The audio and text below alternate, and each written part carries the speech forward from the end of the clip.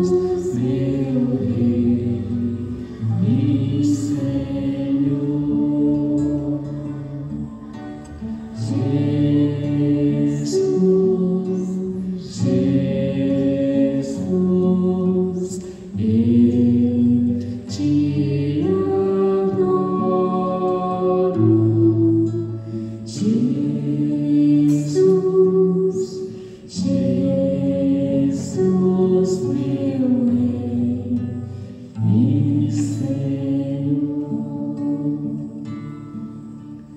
com todos os anjos eu quero te contemplar.